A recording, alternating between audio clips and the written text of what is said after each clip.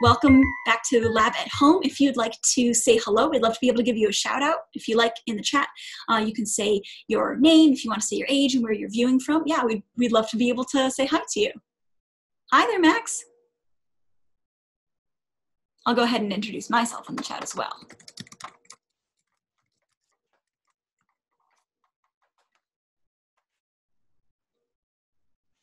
And then we will get started here in just a moment. I, I, think this is something I probably say at the beginning of a lot of labs when I say like, this is one of my favorite labs, but this is actually one of my favorite labs. I'm, I'm really excited about this one. Hi there, May.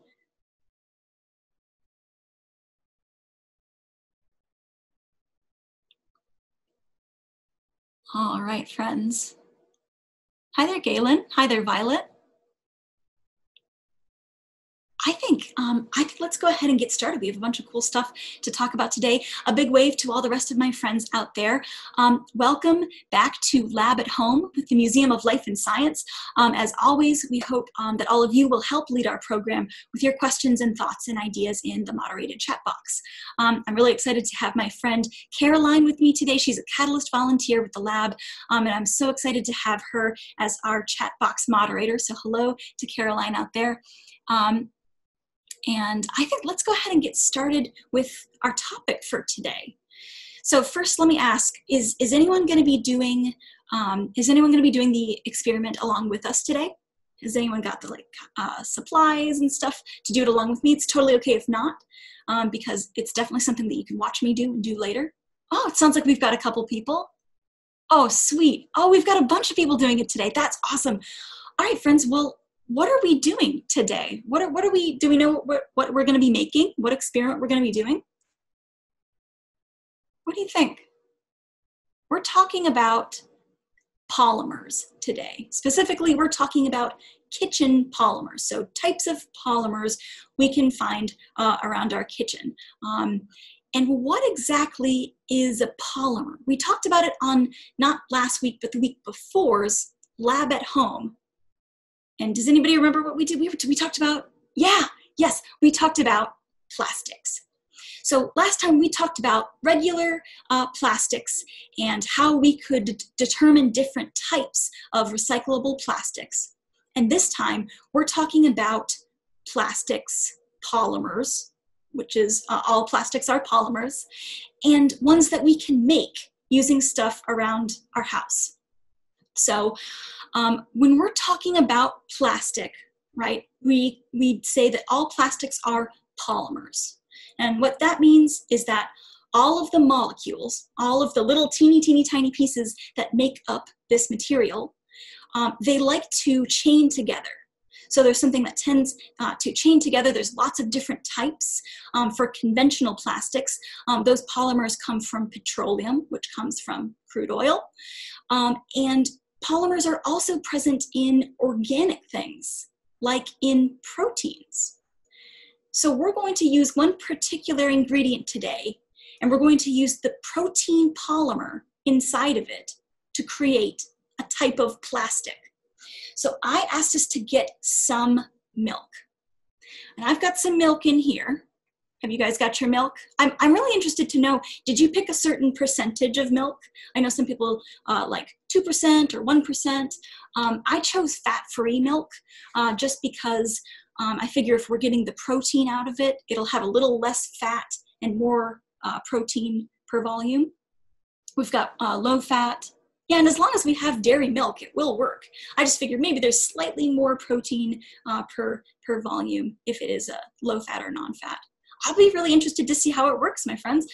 So we've got our milk. We know that there's a lot of different stuff in our milk, right? We know that there's, it's a dairy product, there's fats, there's sugars, and there's protein. Even if we look on our nutritional facts, you can see this has eight grams of protein per serving. The protein is what we want to get out of our milk. But I guess the question is, how do you take the uh, protein out of milk? What we're gonna do is we're gonna use heat. So I'm gonna take about a cup of milk. I'm gonna pour it into my little microwave safe uh, uh, cup here. And I'm gonna do a cup You're welcome to also do a cup, but um, of course you can you can use half a cup if you want to start a little bit smaller. You'll just half the rest of our ingredients. There's really only one other ingredient, so that might be pretty simple for you to do. But we're going to start with one cup of milk, and we're going to heat it up. Uh, and that's going to be our first step in taking the protein out. So let me go ahead and I'm going to close my cap here. And I've got a microwave right here. And what I'm going to do is I am going to put it in for about a minute and 30 seconds. Now, um, we'll see what temperature it is when it comes out. But temperature might have to be a little bit approximate. I happen to have a, a thermometer and I know a temperature range that I'm looking for.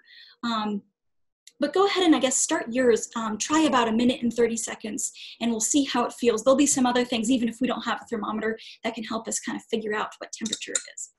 So I'm gonna go ahead and get my uh, milk heated up in my microwave, minute and 30 seconds. And we'll talk about what other supplies we'll need. All right.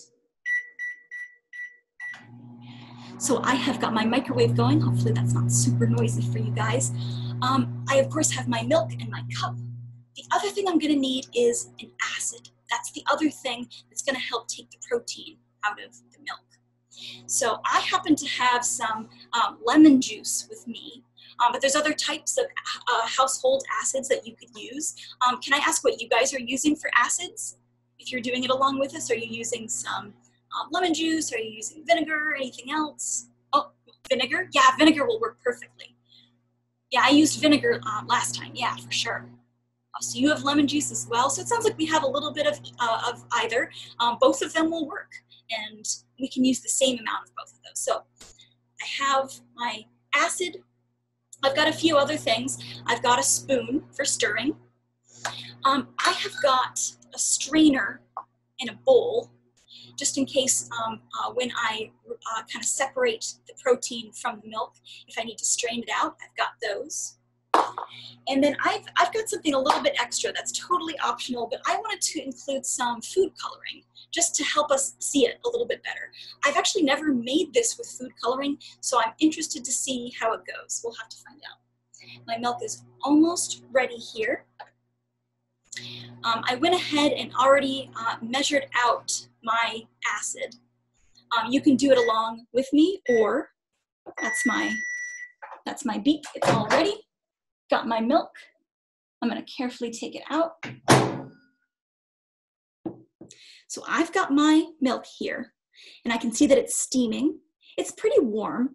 I'm gonna go ahead to my experiment cam and we can check the temperature of this milk oh, yours is still going, that's okay, because we're not gonna start right away. I'm gonna go ahead and switch to experiment cam right here. So here's my milk. Um, I'm gonna go ahead and grab my digital thermometer and I'm gonna see what temperature this is. The temperature range we're looking for is around um, between 120 and 140 degrees Fahrenheit. So right now, this is 133 degrees Fahrenheit. So if yours um, is uh, kind of like warm to the touch, if it's kind of steaming, it's probably around the right temperature. If it's too hot, it will still work. The experiment will still work. And in fact, um, as soon as we do kind of our first round, we can go back and I'll do it a couple different ways. Like I'll do it if the milk is warmer than 140 degrees, and we'll see uh, how that affects the experiment. So I've got my milk it's um, between 120 and 140 degrees Fahrenheit. And in just a second, I'm gonna add my acid. So I have lemon juice right here. And um, I'm gonna use about four tablespoons. So that's about a third of a, or no, I'm sorry, that's a quarter of a cup. Um, so I have it already measured out here. And in just a second, I'm just gonna pour it right in. And as I pour it, I'm going to stir it with my spoon, and we're going to see if we observe a reaction. So for your acid, you're going to need four tablespoons or a quarter cup. So here I actually have this is a this is a half tablespoon. Um, so for for this one I would use eight because two times four is eight. but you just need four tablespoons of vinegar or four tablespoons of uh, lemon juice. So I went ahead and I measured that out and I'm gonna go ahead and pour mine in. Are you guys ready? I think I'm gonna go, go ahead and get started. Oh wait, before I do that, because I have this and it's this lovely white color, which is nice and fun to see, but I think I'm gonna add just a tiny bit of food coloring because I said that I would do that. I'm interested to see if it will stick. Again, I've never actually done it before with, uh, with food coloring. We'll have to see. I'm gonna take my acid, now that I've got this nice and dyed green, I'm gonna take my acid and I'm just going to gently pour it in. And as I'm pouring, I am also stirring. And I'm gonna see if you guys can see a reaction. Either in your own experiment or the one on cam, what are you seeing? Whoa, what are you guys seeing? I think I am observing a reaction right now. I think it does look a little gross, especially with that um, with that green color. That does look a little bit odd, but it's very uh, vivid. It's a nice vivid color. I'm yeah, I'm seeing some separation for sure. What we have done here is with heat and with acid, we have separated the uh, the protein in the milk from the, the rest of the milk. So what we've done is we've made Miss, uh, Little Miss Muffet's favorite breakfast food. We've made curds and we've made whey. The whey is the liquid. This stuff is the milk curds. The milk protein is called casein and I'll have Caroline put that in the chat for us. This is casein protein. It's inside of uh, milk and we have extracted it. Now, depending on the temperature of your milk, your casein might look a little bit different. So mine is kind of stringy and almost even a little bit stretchy, um, but yours might look a little bit um, more kind of crumbly. It might look kind of foamy. Um, let me know how yours looks if you're, if you're doing this part. Um, what I'm gonna do is I'm going to remove all of my um, all of my casein from my whey. So it sounds like some of us are doing crumbly. And a lot of times it's a little more crumbly and less kind of stringy depending on the temperature. So after I make this first batch, I will also make one um, where I'm not measuring the temperature of my milk. I'm just kind of using an approximate temperature that's maybe a little warmer than the one that I did use. So it sounds like we have someone who used a higher fat milk um, that's maybe a little bit more foamy and not separating as much. Um, something else that you can do if there's not as much separation is you can try adding just a little bit more acid. Um, but even if you get just a little bit of separation, that's okay because I'm going to show you a way to kind of make it a little stretchier like mine. So what I'm going to do is I'm going to filter out my uh, whey from the casein. So all I'm doing is kind of pouring it into the strainer. I'm kind of stuck to my spoon here. I'm gonna test it. It's pretty safe for me to touch. It's, a, it's not too hot. So here we go. I'm gonna put all that in here. You know, mine is a little bit crumblier. When I've made it before, sometimes it's a little bit on the stretchier side. That's interesting. There's a lot of different variables, a lot of different reasons why things turn out differently. So I have got my um, my casein plastic in here. And right now it's not looking very plasticky. I'm gonna go ahead and I'm kind of squeezing out some of the liquid, right? And you're welcome to do that as well. Um, if you'd like to give it a little bit of a rinse, um, especially um, if it's if yours is smelling particularly lemon juicy or particularly vinegary, you can always just give it a quick dunk in some water like this. Not required, but it does help clean it off a little bit. So I have got my, uh, my casein now, and I'm going to take it out of my strainer so that we can see it. I'm kind of squeezing all of that liquid out or as much liquid out as I can. And here's what I've got. It's almost a little bit like Play-Doh, um, but it's kind of, it's kind of stringy. It's a little bit, um, it is a little bit crumbly, actually. I was kind of surprised to see it was kind of crumbly. Um, but it doesn't look super duper plasticky to me, right? It's a little bit bouncy, but it doesn't seem, it doesn't seem very much like plastic or resin. So I'm gonna do one more step. Um, what I am going to do is I am going to take my ball of casein And I am going to put it back in the microwave. I'm gonna put it back in my microwave safe uh, cup here. And I'm gonna put it back in the microwave for about 30 seconds. So not as long as before. I'll go ahead and take it back to my face cam here. I'm gonna put this in for 30 seconds and we're gonna heat it up a second time. All right, so while that's heating up, I'd love to hear how it's going for you all. Uh, and especially after that second heat, I'd love to hear how it goes. Um, when I've done this experiment in the past and read about it before, it only mentions doing the heating one time. So a lot of times the final product is kind of that crumbly stuff, which is still pretty cool. Um, but I remember uh, when I was first kind of experimenting with this, I decided to heat it a second time because I noticed as it cooled, it got a little less moldable. So um, I put it in the microwave a second time and I was really surprised with what happened. So this is pretty uh, warm right now. This is pretty hot. So I'm just gonna use my spoon. But can you guys see this here? Whoa. So I'm actually gonna go to my experiment cam so we can see this a little bit closer. Here is my product after I've put it in the microwave a second time. It's really stretchy.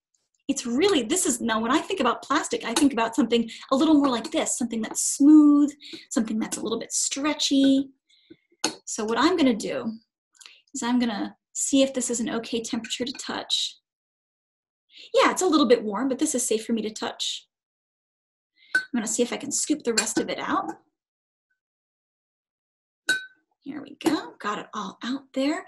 And I've got a really interesting product here.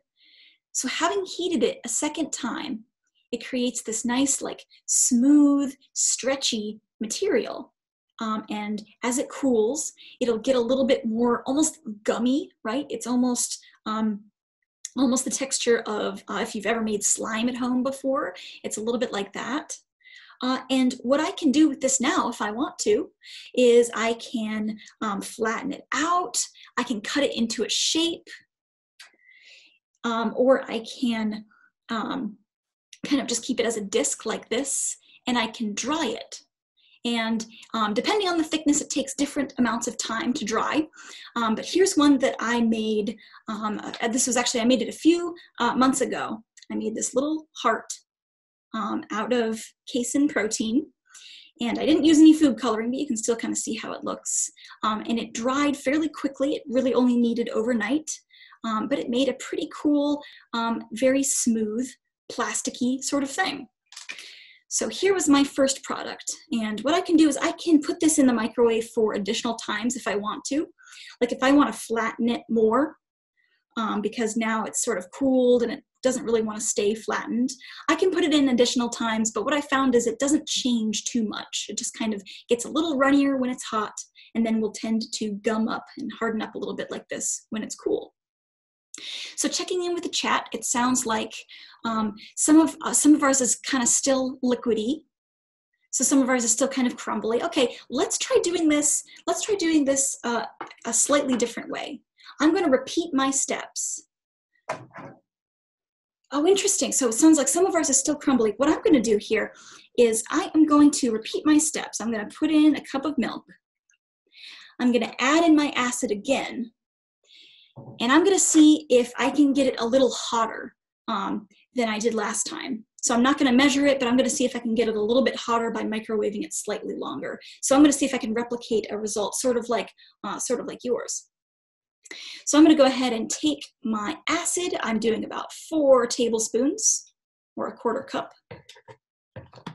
Have that at the ready because I'm going to take my milk and I'm going to put my milk in for a minute and 40 seconds this time.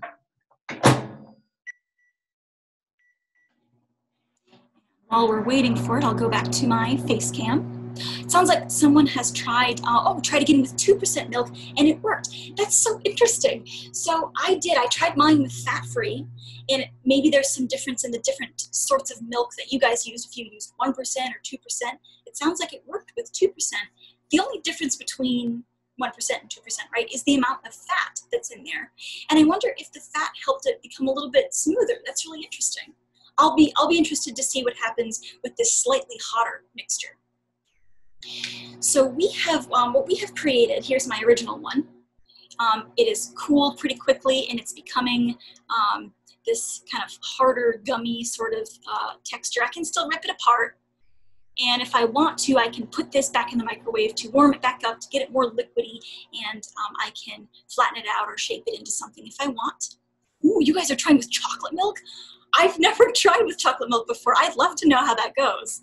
Um, that's going to be really exciting. I'm excited to hear about that one. Um, this type of plastic, right, is not necessarily something that I could use like I use a conventional plastic, right? Um, but it has been used um, as a plastic on an industrial level. Uh, it's called the casein plastic when it is in uh, kind of a more industrial form uh, is called Galalith and I'll have Caroline put that in the chat. Galalith is basically the same steps that we went through, but it's also tempered with um, kind of a mixture of, uh, of water and formaldehyde. And formaldehyde is a chemical that I don't really want to mess with um, it, in my home lab uh, or anywhere else really. So this is going to remain untempered. That um, also means it won't be waterproof.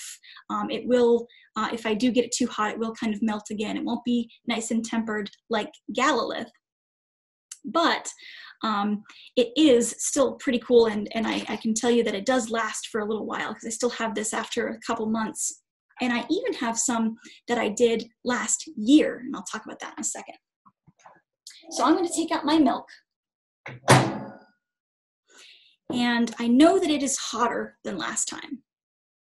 I'm going to go ahead to my experiment can once more. And I have a I haven't asked about asking or about using food dye for this one again.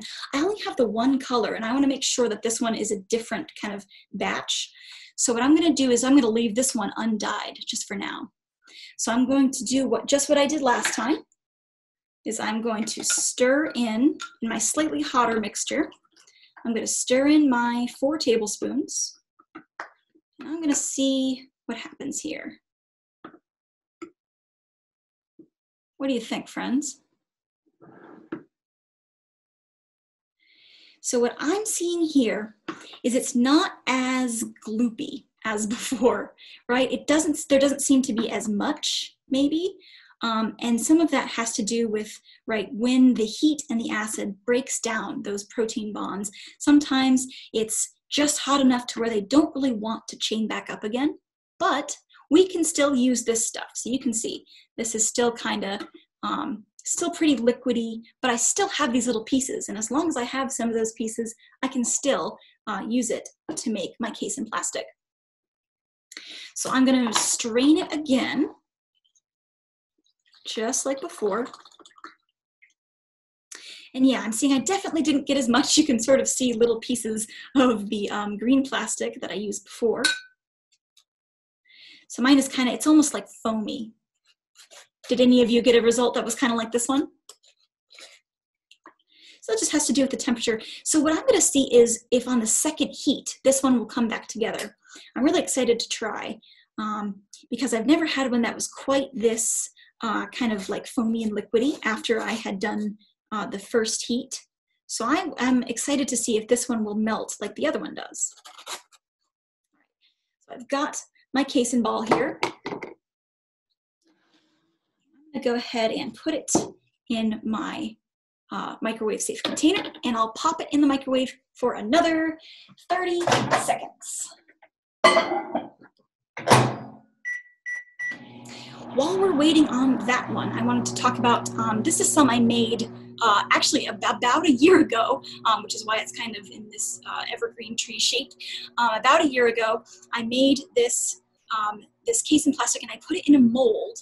And you can see this is one I only heated one time. So it was just that crumbly uh, kind of casein. I didn't do it twice, so it didn't turn into that nice, where's my nice smooth little heart? It didn't turn into this nice smooth stuff. It was kind of crumbly. But it does stick around. Um, I found that once it is totally dried, right, there's no issue with mold or anything like that. The only thing is um, when it only has one heat, it tends to be a little more brittle. You can see it started to crack. But again, this one is going on, uh, I think about six or seven months. So this one is going on pretty strong. I'll go ahead and get out my second heat of my really crumbly plastic or my really crumbly casein. And this is really interesting. Let's see. It's still, so I'm seeing, first of all, I'm seeing um, some liquid still in the cup, so that's interesting. Looks like it's separated a little bit more, took a little bit more of the whey out of there. So I've got, I've got a product that looks kind of like this now. Interesting. So it did help it a little bit, right? It helped it a little bit more um, than than it was before, right? It's a little bit more of a nice blob now. And I bet I could heat this a couple more times to see if I could get it a little bit smoother, like my original casein blob. I'm gonna go ahead back to my face cam here. So this is interesting. When it was too uh, hot to begin with, right, I got less casein out and it was kind of crumbly. Even on the second heat, it ended up being a little crumbly. So I think um, uh, what I would do next, my next step would be to try heating it one more time. I would love to see if it turns a little bit more um, smooth after that. Um, but we have talked about a lot of different things today. We talked about using one particular food to make uh, something like plastic, to make this nice uh, protein polymer. But there's other things around your kitchen that you can use too. So there's a few other things that I tried um, that I would love to share with you guys. Um, and this is something that we won't have time or and won't be able to do on the on, on lab at home today because it involves uh, needing to use a stovetop but what i've done is i have compiled a material list and an instruction sheet that i'm going to send to all of you guys after the lab so that if you want you can try it um, with your families over the holiday or just any time you'd like to because um, i not only used milk to make casein protein, uh, a casein protein polymer. Um, I also used gelatin. So here is um, some gelatin plastic that I made, and it's pretty firm, right? And it's pretty, uh, it's nice and it's clear. This one um, was originally a disc, but it, when it dried, it kind of curled up a little bit. Uh, it still looks pretty cool, and again, it's really strong. Oh, I was trying to see if I could crack it, but it's very strong this gelatin uh, uh, plastic. And then I also tried making some plastic out of starch. I used cornstarch. So here's some of my cornstarch plastic. It didn't turn out as well for me because um, I didn't I didn't put any glycerin in it. The one recipe that I looked at recommended, oh, use a little bit of glycerin to make it a little less brittle. But I wanted to see if I didn't have glycerin, how would it look? And the answer is maybe a little different, but it's still cool. And, and I think if I kept it from um, curling so much as it dried, my original shapes might still be there. So I made some out of cornstarch. I made some out of gelatin. Oh, where's my, um, I even made a little, uh, oh, here it is. I even made a little ring out of gelatin plastic. So you can do a lot of kind of cool things with it. It dries overnight. Um, I have a really interesting question in the chat that I wanted to address. Did I find out a difference between lemon juice and vinegar? So in this particular, um, in this particular lab, I, I was only able to use the lemon juice, but in previous experiments, I have been able to use lemon juice and vinegar. Uh, for example, in the uh, experiment I did a year ago, um, I used vinegar on this one and lemon juice on this one. So the main difference that I found was that the one that I used vinegar on was a little bit kind of lighter in color, whereas the one I used uh, lemon juice on uh, is a little bit more yellow. So you can kind of see that. But they, um, they had more or less the same yield. They uh, took out more or less the same amount of casein, and I tested these at the same temperature, so that wasn't a factor either. Um, but I think either one works. It just might be a slight color difference. And then um, for these two that I made, um, this was one where I did a second heat. This is one where I only did one heat, so it's a little bit crumblier. Um, this one I, I used vinegar in these. So that's a really great, great question. Um, I, would love to ask, did anyone get a chance to, to, uh, to, to our friends who were using chocolate milk, did you get a chance to to do it? Did it work? If you guys are still here, I would love to know. And if I don't find out, that's totally fine because I can do my own experiment. I just love to see, I, I wonder if it affects the color or if it affects the, um, the, the amount of casein that it's able to extract. Definitely let me know if you, uh, if you were able to do that. So that we made a lot of different types of uh, food polymers today. This is a great question. Is it edible? Um, our casein protein is technically edible. Um, it's also, this is also the, the method we might use to make ricotta cheese. So this is like a really, really simple non-fermented cheese. So you can eat it, but I wouldn't really recommend it. Um, just taking a bite of an experiment that you're making, um, especially if you use vinegar, it kind of has a, a different taste than um, ricotta cheese I think is more traditionally created with uh, with lemon juice. I didn't rinse this one super well, so it would still definitely taste very weirdly lemony. Um, and I also, of course, to do this experiment, I didn't kind of wash my hands the way that I would if I were doing food prep. Um, but technically, in a technical sense, um, this plastic is more edible than the plastic of this bowl.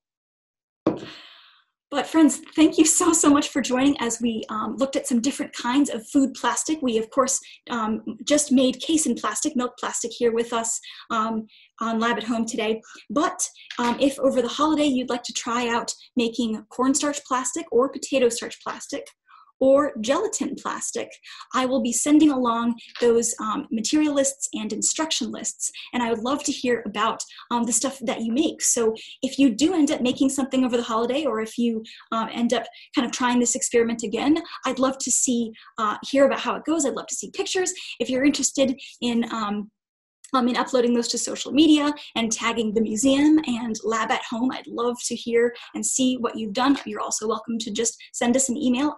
Um, I love getting uh, cool stories of stuff that people make. Um, last time I got a really, uh, really amazing uh, photograph of uh, primordial soup that someone uh, had kept from a previous experiment that we made, and it was amazing. But friends, thank you so, so much for coming to Lab at Home today. Next week will be Little Lab at Home. Um, and next week on Little Lab, which is for younger scientists, we're going to be exploring different phases of water.